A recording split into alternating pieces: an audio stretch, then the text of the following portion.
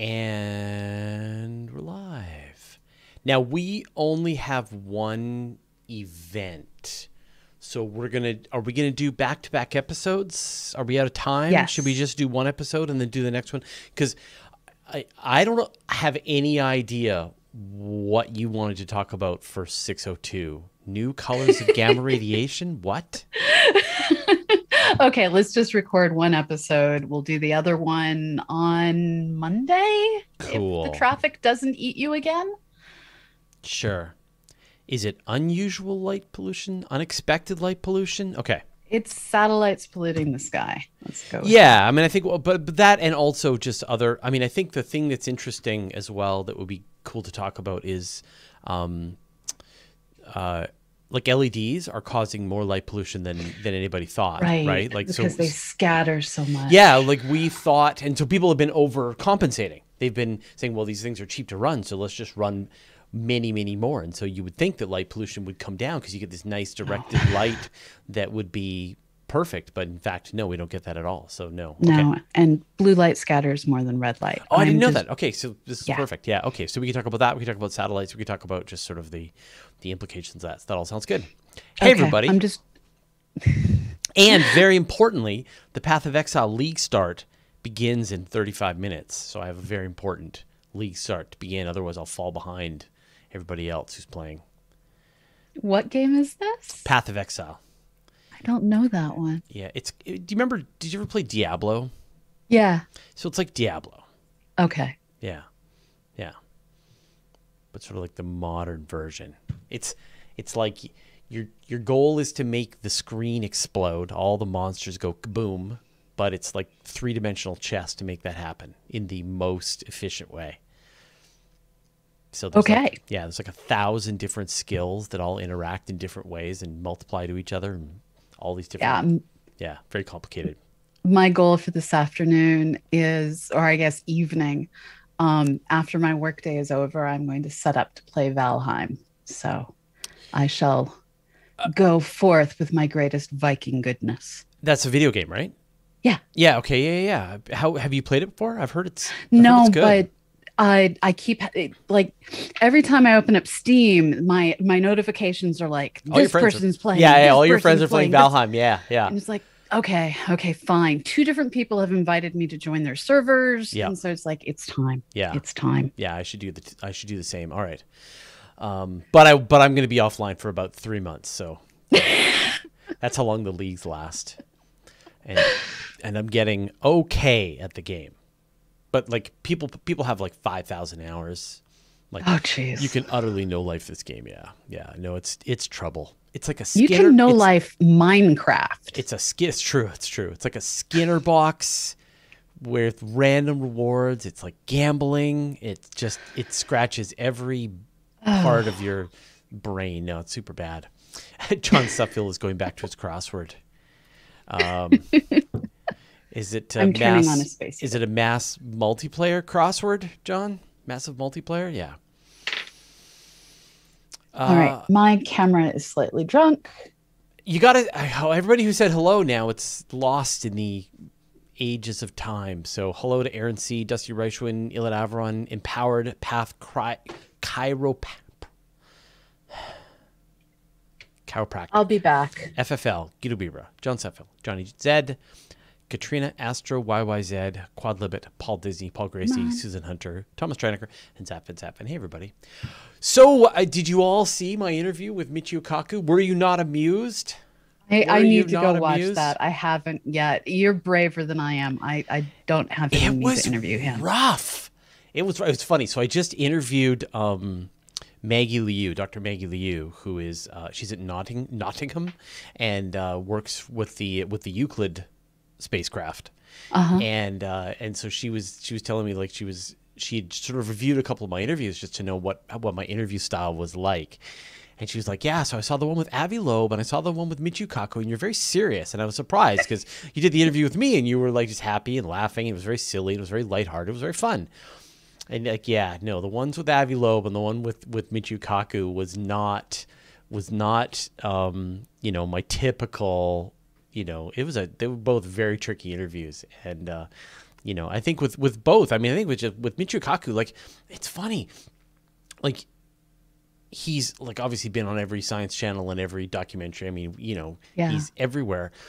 And when you really dig down to it, he's got some really interesting things to say. I he gave me I think one of the most fascinating explanations for the Fermi paradox that I've heard so far. Oh, really? what was it? Well, uh, so just this idea that that future civilizations will upload their consciousness to computers and then they will transmit that consciousness via lasers to receivers and then they'll they'll reinstantiate themselves in new locations and so from your perspective as the transmitted because you're moving at the speed of light you experience no time. And so it's not an uncomfortable travel process for you to move from from world to world. And so we should be looking for the receivers of the the laser signals. Altered carbon?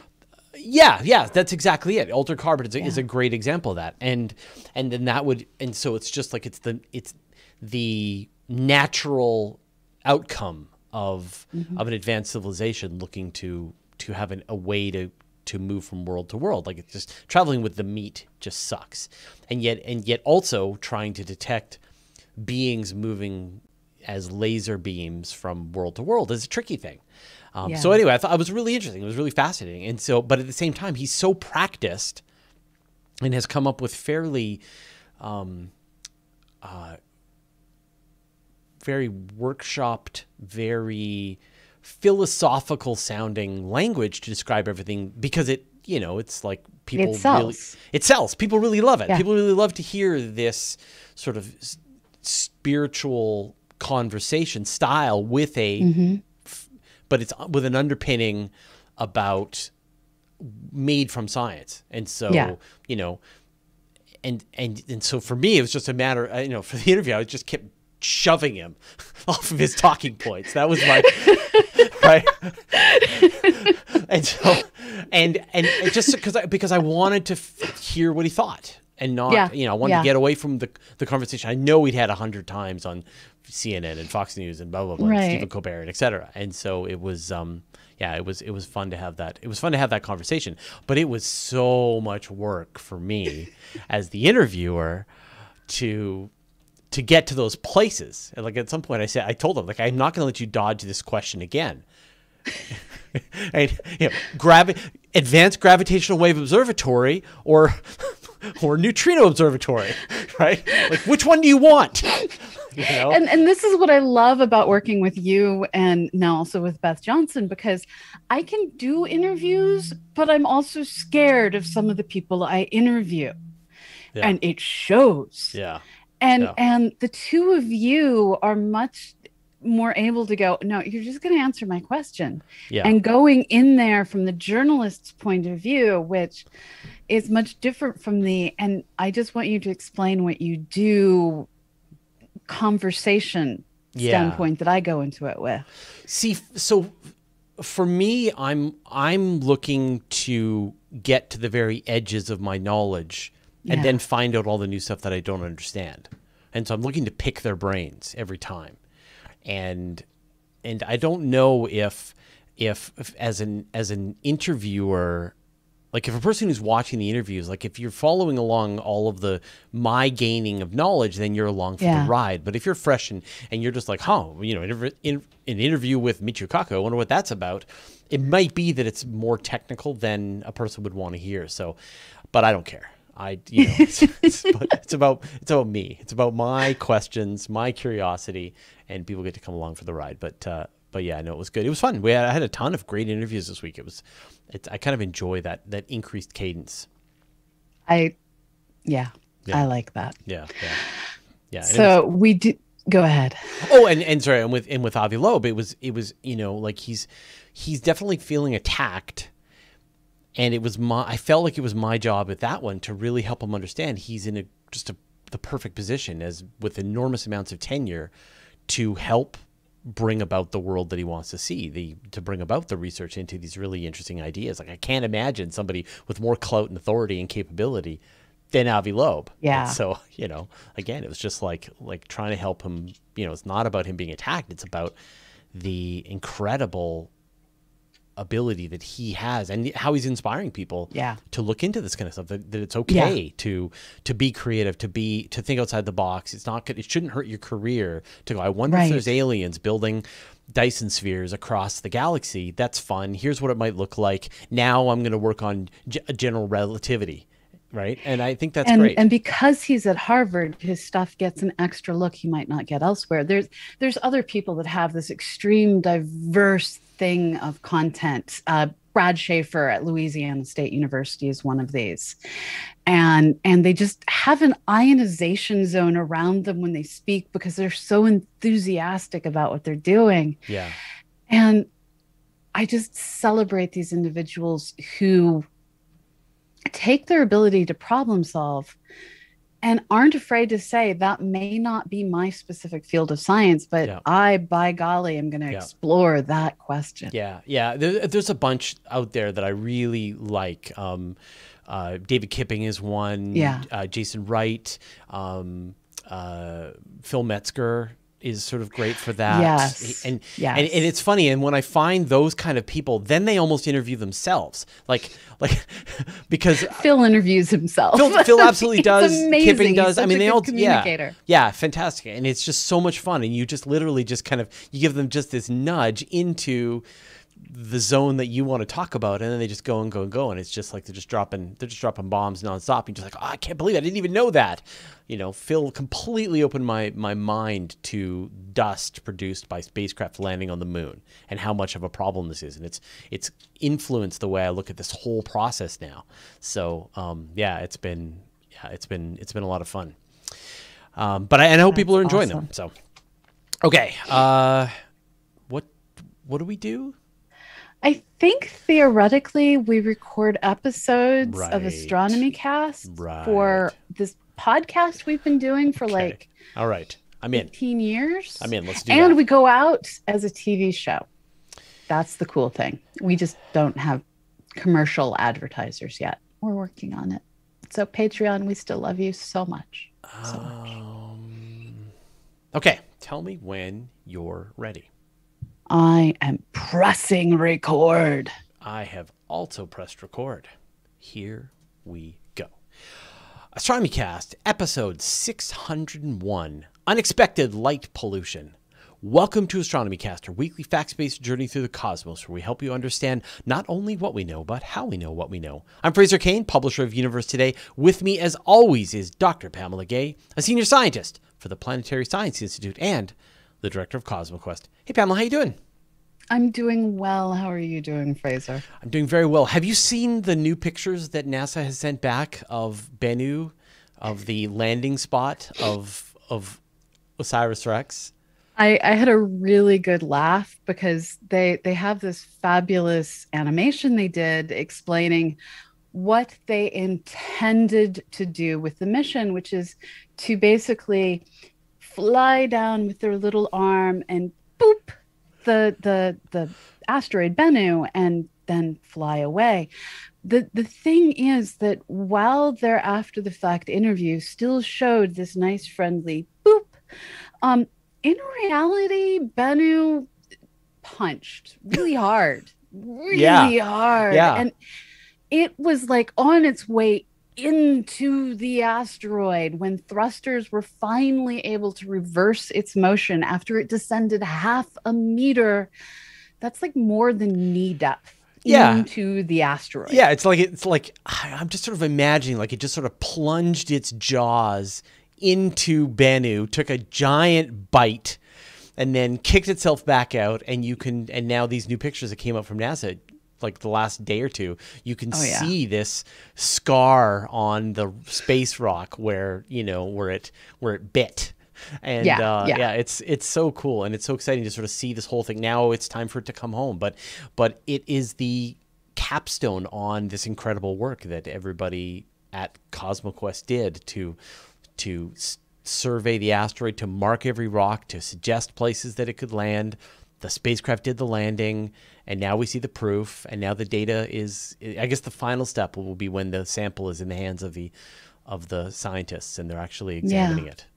Instead of saying the film's in the can, the rocks are in the can. Yeah, absolutely. All the rocks. Yeah. More rocks than anticipated. Yeah, yeah, exactly. You know, because it jammed its face yes. half a meter into the asteroid and it's just overfilled. So, yeah, yeah.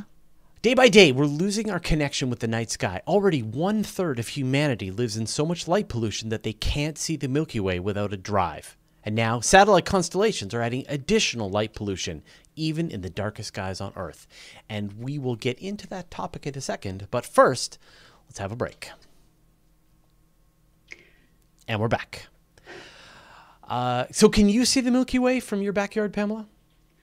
I can, just not very dramatically. We we have, unfortunately, um, those exact historic looking, not actually historic streetlights that the International Dark Sky Association complains about, where you have a pole with like a teardrop on top.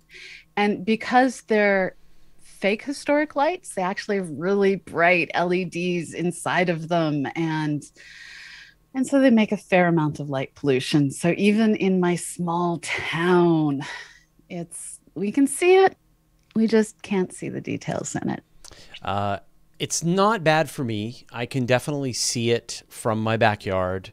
Uh, like where I grew up, it's much darker, but I can see the Milky Way. I can see fainter fainter objects in the sky from my backyard. I can do some mediocre astronomy. And our town is maybe 25,000 people where I live. And so, but we're surrounded by darkness. And so I just have to go driving maybe 10, 15 minutes and I get to much darker skies.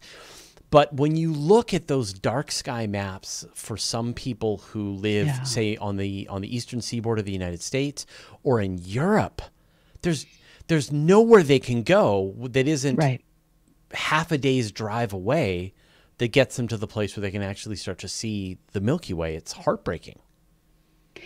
And one of the things that makes it even more complicated is while a fair amount of attention has been paid to, well, streetlights like the one I have cause light pollution, lighting up historic buildings causes light pollution all these things gas stations. Gas stations are a terrible source of light pollution. If something attracts bugs you're probably generating light pollution. That's a that's a good that's a really good tip. Actually we were uh, we did a drive across uh, the united states and we got into minnesota and we stopped at a um, stopped at like a road stop you know one uh-huh. of the the rest stops.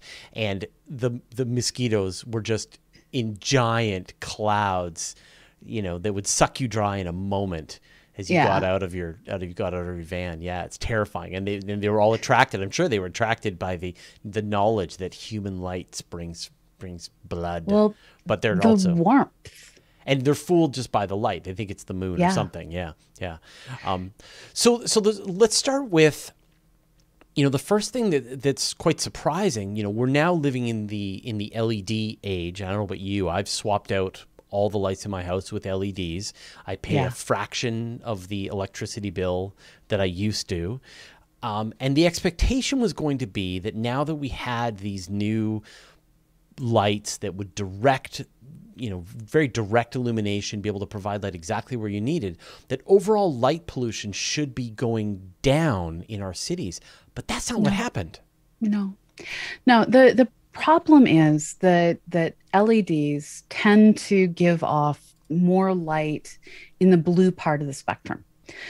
You can see that in how human beings look. We tend to not have that natural ruddy look we naturally have when we go outside under the sun. We instead look more like I do right now, kind of pale and with a slightly bluish cast. That's from all of the blue light in the LEDs. And as it happens to work, the same fact that blue light scatters super easily that makes our sky blue also means that all of those blue shades of light that are coming down from these low energy lights outside it's going to scatter off the pavement it's going to scatter off the cement it's going to go straight up and bounce around in our atmosphere lighting that sky up and drowning the stars beyond. And so what's actually happening with the sky? Like how is the how is the light interacting with the sky to cause this loss of the heavens for us? It's it's an effect that's called Rayleigh scattering in a lot of um, situations where as all the different colors of light from the sun pass downwards towards the surface of the earth, the particles in our atmosphere periodically get in the way. And the way scattering works, blue light gets scattered first, and then the thicker the atmosphere, the more particles in the atmosphere, the more colors of light are going to be scattered. So when the sun is straight overhead, sunlight coming through, blue light scatters all over the place and it keeps scattering. This is why you can look off at the horizon with the sun straight overhead and you still see blue down at the horizon because light has just kept bouncing and eventually it bounces towards our eyeballs. Right, right. Now, as the sun gets lower towards the horizon, you're looking through much more much more atmosphere and that thicker atmosphere is able to scatter more colors of light, causing the sunset to be red. Now, when we're looking at things in the other direction, light here on Earth will hopefully be directed towards the ground. And the ground's going to absorb some of those colors of light and it's going to reflect some of those colors of light. The reflected light goes up, hits the atmosphere, and then scatters the same way the sunlight does.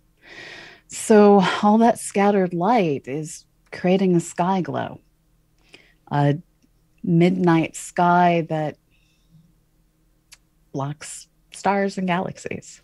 Um, and so, and so that that Rayleigh scattering, we're just seeing it in in reverse. All right, we're going to yeah. continue this conversation in a second, but first, let's have a break. And we're back. And so we can um, we can mitigate that light pollution a little bit if we're doing astronomy using a special set of filters. Yes. So luckily, LEDs, unlike the sun, don't give off their light in every single color of the electromagnetic spectrum. Depending on the chemistry involved in the LED, you get spikes in certain colors. And by combining those certain colors that we can create thanks to chemistry, you get things that approximate different specific colors. I can make a light look red. It may be giving off light in a whole lot of different, very narrow colors that my eyes perceive as red. Now, creating filters that block out those specific colors native to LEDs is super useful if you're trying to do astrophotography. It can be useful in some cases if you're trying to do astronomy, but you're essentially saying these specific things I want to study, I'm not allowed to because their color happens to be coincidental with all the LED light that's now polluting the atmosphere. So ideally, we just want people to turn stuff off at yeah. night. Just yeah. turn it off, people.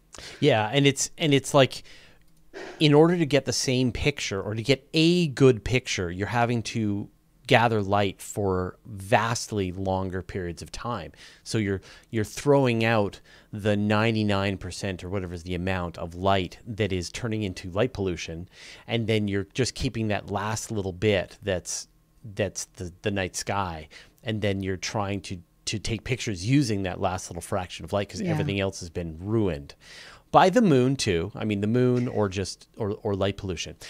And yeah. so, uh, you know, an interesting paper I know crossed both of our desks in the last couple of weeks, and this idea that, in fact, now it turns out that satellite constellations are starting to increase the amount of light pollution that we're seeing. And this is bad because it's everywhere, not yeah. just over the cities. And and this is very much the same problem of just scattered light. It's just the scatterers are much higher up. So we have our satellites, they're orbiting hundreds of miles above the surface of the planet, sometimes thousands. And because they're higher up, they have a sight line to the sun that we may not have at the surface of the planet.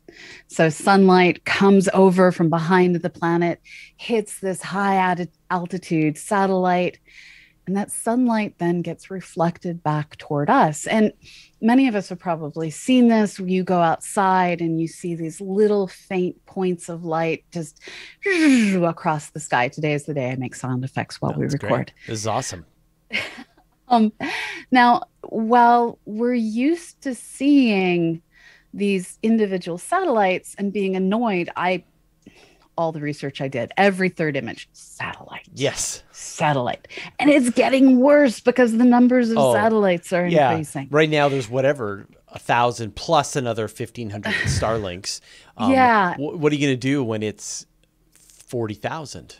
Right. And and so we were fully aware of the problem created by these individual annoying streaks that passed in front of the things we're trying to see and otherwise saturate our detectors. Mm-hmm. What I hadn't thought through, but in retrospect is kind of obvious, as so often is the case, that light getting reflected back to us from the satellites, while some of it comes straight down and hits our eyeballs, our cameras, and things like that, a lot of the light, just like sunlight coming from the sun, gets scattered.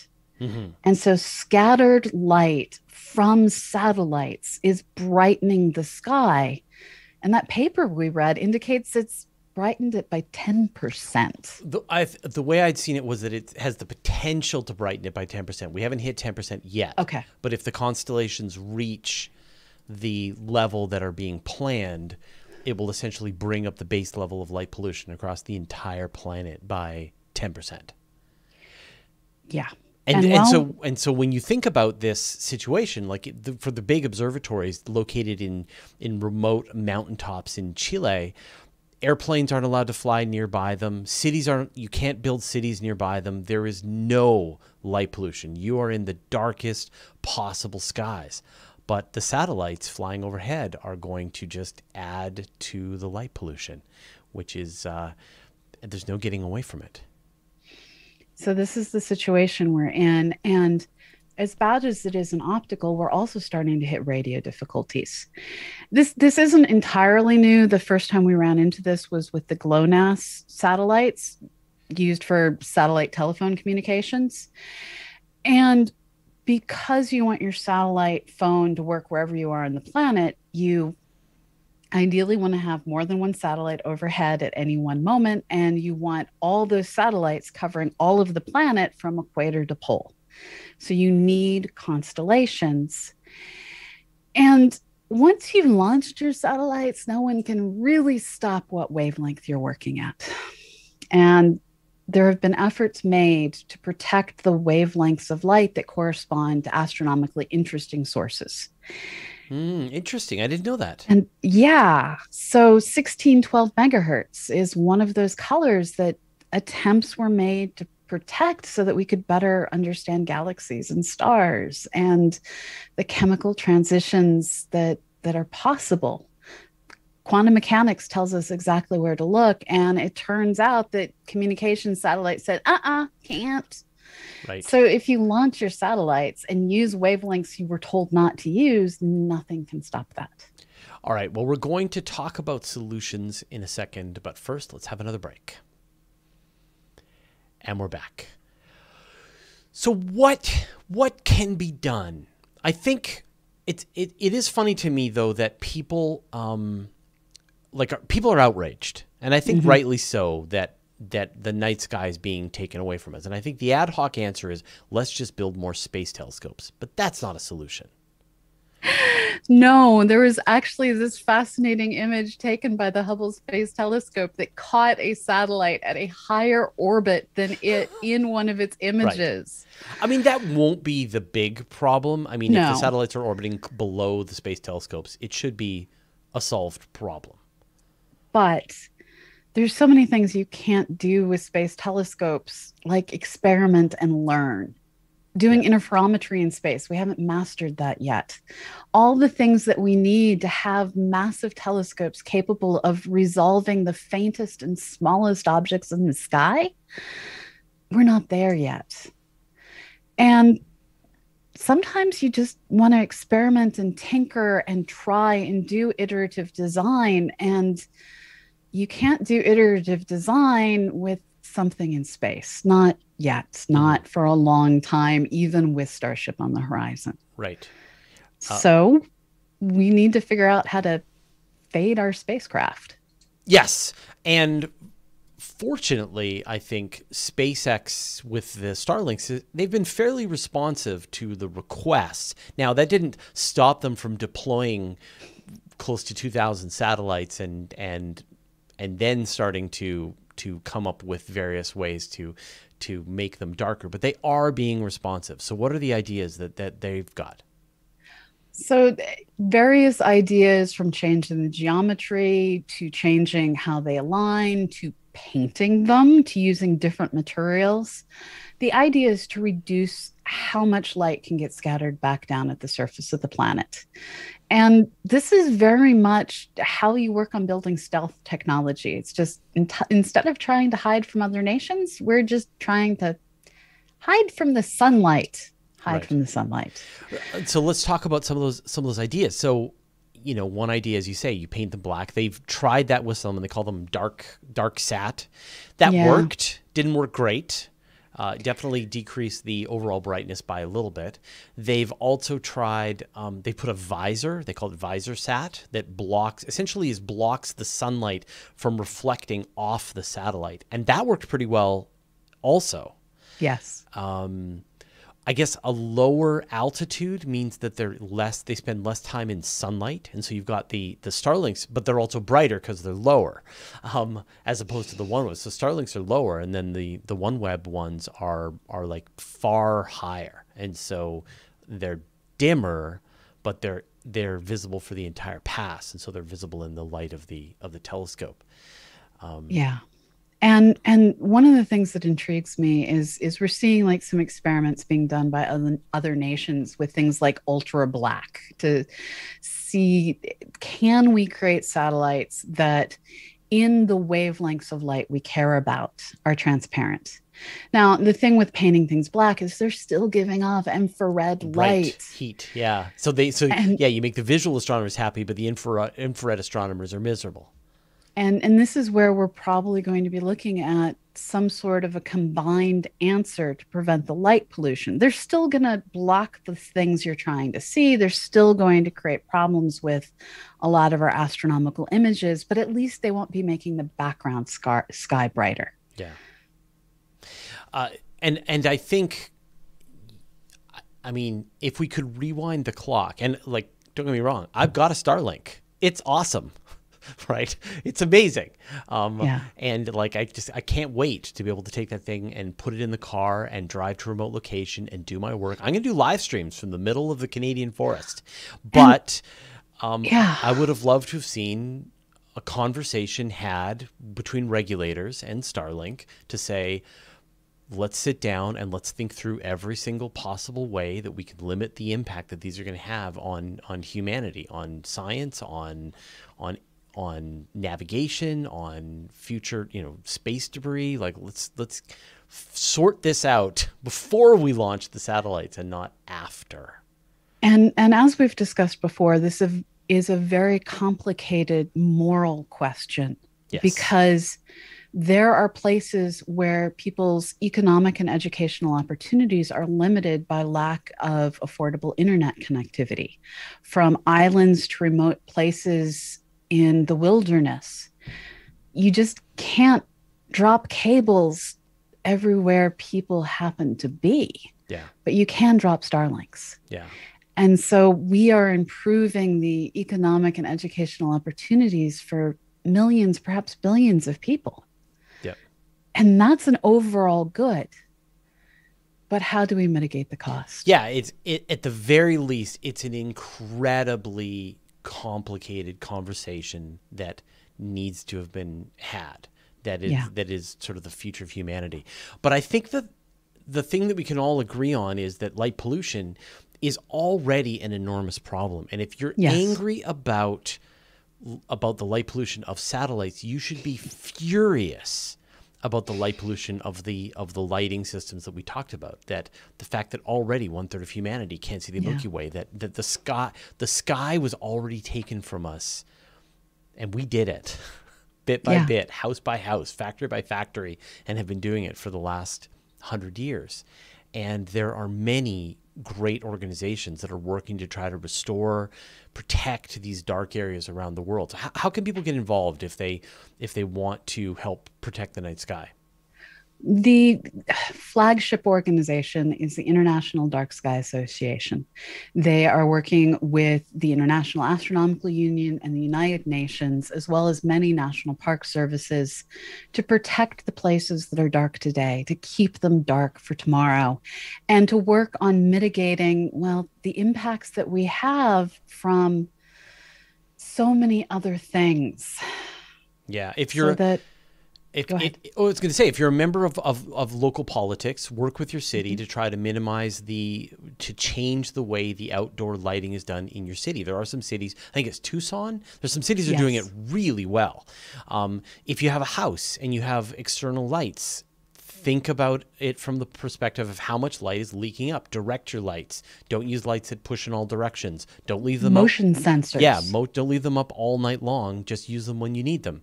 Um, get involved and really help fund some of these dark sky locations and help protect some of these some of these more pristine areas and help raise awareness with other people that this needs to be protected. Uh, it's like most people don't even know what they're missing, and that's like it's hard to yeah. get them excited or worked up about this thing that's already been taken from them, which is which is kind of heartbreaking. Go out, look up while you can, and try to build a future where you can see more than you see today. Thank you, Pamela. Goodbye, everyone. All right. Did you have some names for us this week? I do.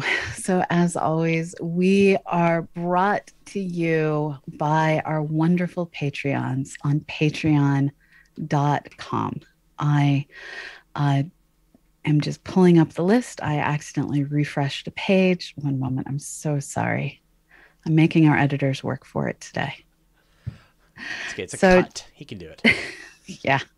So today I would like to thank the following wonderful human beings who are part of what make this show possible, allow us to pay all the people who keep us in order. That's Rich, Allie, Beth, Nancy, all of you, you're out there hurting us, and we are cats.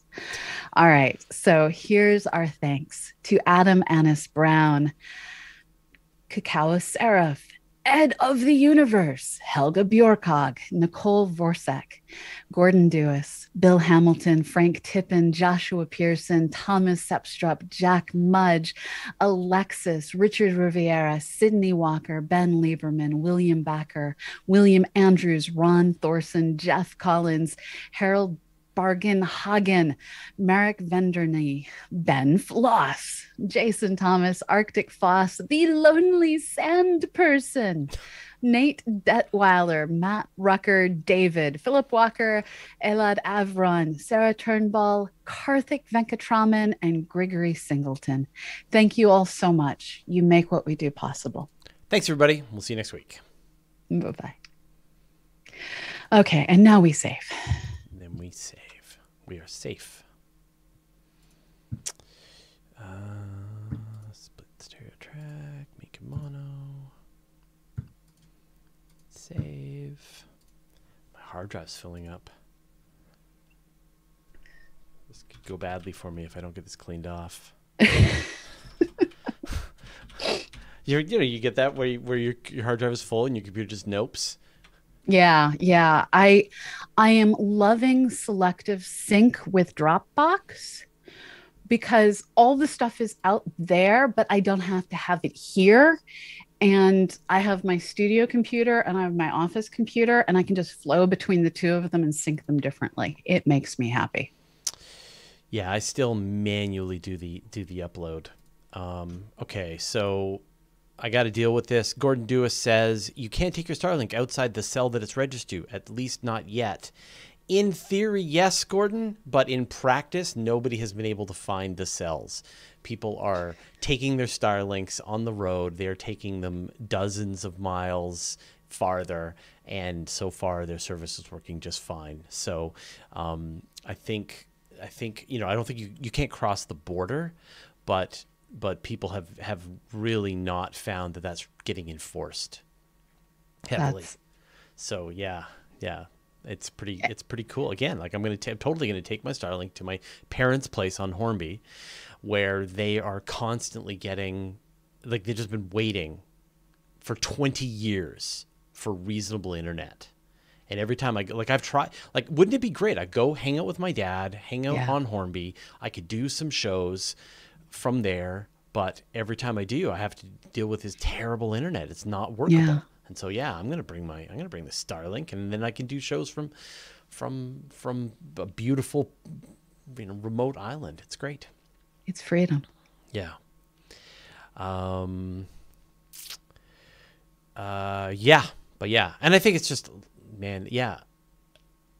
We should have just had more conversations. Like that's it. That's the beginning and the end. I think. Um. Oh, Gordon's saying the cells are dynamic based on customer density. Yeah, maybe, maybe. Um, asking for a vampire friend. Isn't the spectrum of moonlight exactly like sunlight? Shouldn't it mean that vampires could actually go out during the day? He needs a suntan. Please, we need answers. This is true. The best theories that I've heard are that vampires uh, get into trouble when exposed to too much sunlight, and that the absorbed wavelengths of the moon, alternatively, are the exact wavelengths that give vampires problems. So either the chemistry of the surface of the moon and the wavelengths of light it absorbs happen to be the ones poisonous to vampires, or you have a limiting threshold problem and moonlight is not significant enough to cause issues. Pick your theory. Got it. I choose. I love that I had an answer to that. Yeah. I have thought about this before. yeah. See, I would just go with vampires aren't real, but that's just when did when did I become the cynic? Sometimes you have to play into it. Yeah, for sure. You teach you teach some science as you as Yeah. you entertain the the uh, the horror Das Wump here. Um Beth Johnson asks, would it be possible to adjust or optimize the orbits of the constellations to exclude the major locations of the largest telescopes?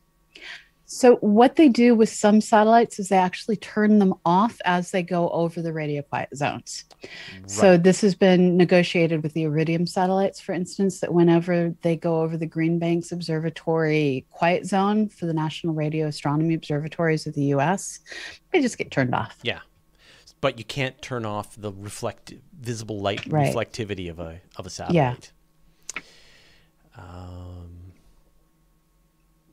Annie, if you're watching, you left your fancy canned water in my house, and I am enjoying it. they call their canned water liquid death. it it has the most delightful can ever. Um, it it reads this infinitely recyclable can of stone cold sparkling water came straight from the Alps to murder your thirst. When a group of teenagers set off into the mountains for a weekend of drinking regular water in plastic bottles, they became haunted by an aluminum can of mountain water that was dead set on murdering their thirsts and recycling their souls. Once cracked open, no thirst is safe from liquid death. After actually dismembering its thirst victims, this brutal can of water used the severed body parts of dead thirsts to build itself a flesh suit, which it used to disguise as a disguise to get a job in marketing.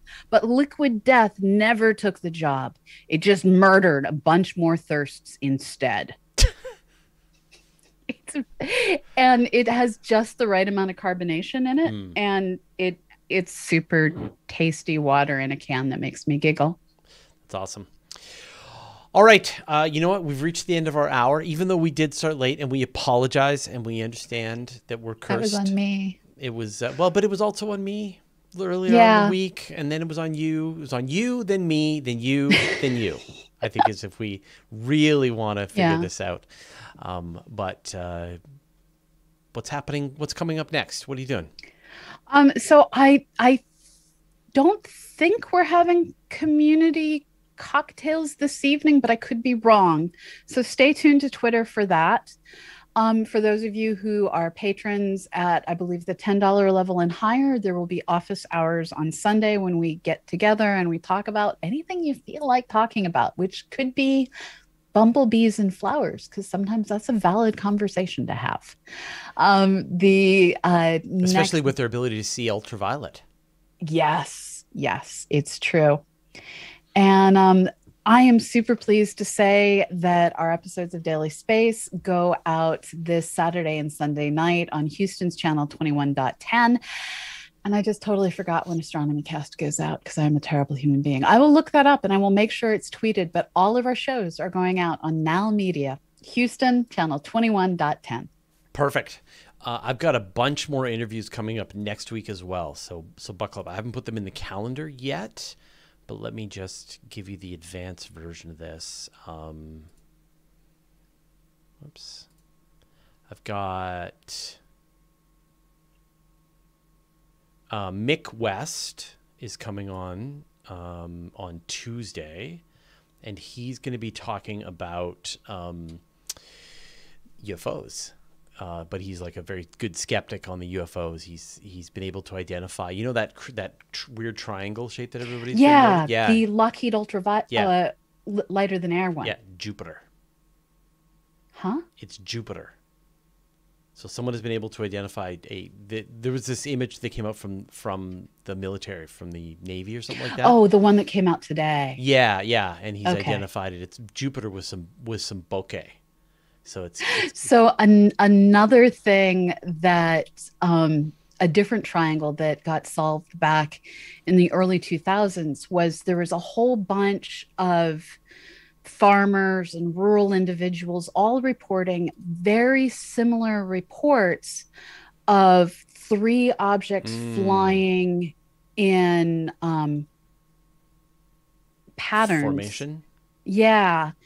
And eventually it was figured out that it was actually massive, low flying, uh, lighter than air zeppelins that were heavy lift vehicles. Oh, and because they were triangular with three points, and you can't tell distance, it looked like three things flying high speed and syn- in synchronous. Right. And in opposed reality, it was just, yeah. low. So that was a super cool because all of the sightings were along one of the flight paths between Yeah. two different air bases. Um, and then I've got uh, Klaus Pontoppidan from uh, the Space Telescope Science Institute on next Friday, so a week today, and we're going to be talking about now they've they've decided on everything that James Webb is going to be looking at, and so we're going to talk about everything that James Webb is going to be looking at. So, uh, okay. All right. Well, hey, thank you everybody for watching us today. Apologies for the late start. Uh, we won't make the habit of this. Um. Uh, thanks to all the moderators. Thanks to Beth for keeping being the timekeeper and the um, the restreamer. We appreciate your sacrifice. And thank you to everyone over on Twitch who stayed with us through two episodes of Daily Space and now Astronomy Cast. And if you keep sticking around, we are going to be airing the human landing system announcement that is going on right now. Oh, awesome! We're cutting in, uh, preempted by this show. Um, so keep on watching. We're going to keep the science flowing at twitch.tv slash cosmic Place your bets. 2026, 2028. I'm thinking seven. I'll I'll take the middle. You'll take the middle. Okay. Yeah. All right. Thanks, everyone. We'll see you next week. Bye bye. I gotta find the button.